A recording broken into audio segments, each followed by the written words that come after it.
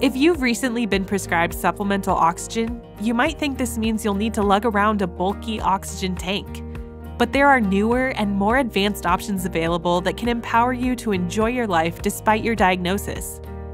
The two main options for oxygen delivery are oxygen tanks and oxygen concentrators. In this video, we'll explain how they differ and help you make an informed choice about your delivery method. First, let's talk about how an oxygen tank works. Oxygen tanks are the most common way to deliver medical grade oxygen to patients. There are two kinds compressed oxygen tanks and liquid oxygen tanks, and they are generally made out of steel or aluminum. The oxygen is extracted from the air ahead of time and stored at very high pressures, with an oxygen purity of 99%. This medical grade oxygen is then filled into the tanks. A regulator is used to ensure that the oxygen is delivered at the required flow rate. Oxygen tanks need to be handled with care and kept upright at all times. They require constant maintenance and can pose hazards to your safety when not handled properly. Oxygen concentrators, on the other hand, differ significantly. Instead of relying on stored oxygen, oxygen concentrators filter the oxygen out of the air around us. Regular air is made up of 78% nitrogen, 21% oxygen, and 1% other gases. Oxygen concentrators take in this air, filter out the nitrogen, and can deliver 87 to 96% pure oxygen. They also feature alerts to help you know if you're getting the right amount of oxygen, and while they may be more expensive up front, oxygen concentrators cost less than oxygen tanks in the long run. Oxygen tanks can vary in size and capacity, depending on the user's oxygen requirement. The commonly used E-type cylinder is capable of delivering oxygen for over 5 hours at a flow rate of 2 liters per minute, or LPM. This type of cylinder is over 2 feet in length and weighs almost 8 pounds. For a high flow requirement, H or M250 tanks are advised. These large tanks are stationary and weigh around 120 pounds.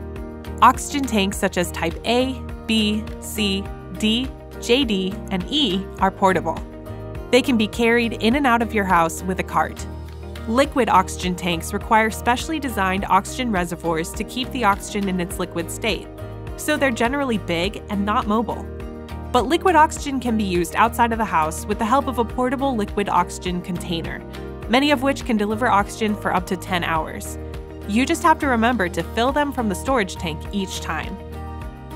Portable oxygen concentrators are small, lightweight, and battery powered, which means that you can conveniently take them with you to the grocery store or when you travel.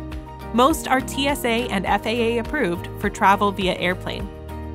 The smallest portable oxygen concentrator is the Inogen 1G4, weighing only 2.8 pounds. It can last over 4 hours on a double battery on a setting of 2. Home oxygen concentrators are meant for usage at home. They're larger than portable oxygen concentrators and weigh around 30 pounds. However, most have wheels at the bottom so that they can easily be moved and plugged into any room in your house. They can supply a higher flow of oxygen compared to portable oxygen concentrators. They can supply a continuous flow of up to 10 liters per minute.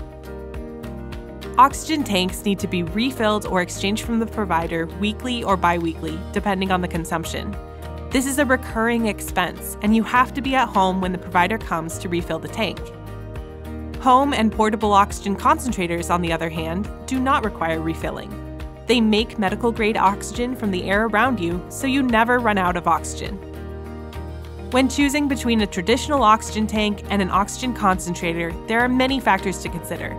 You should always consult with your doctor when considering which form of oxygen therapy delivery is right for you. If you are looking for a home or portable oxygen concentrator, we offer several affordable new and used machines on our website, along with new cannulas and accessories. Please contact us with any questions you may have about oxygen concentrators.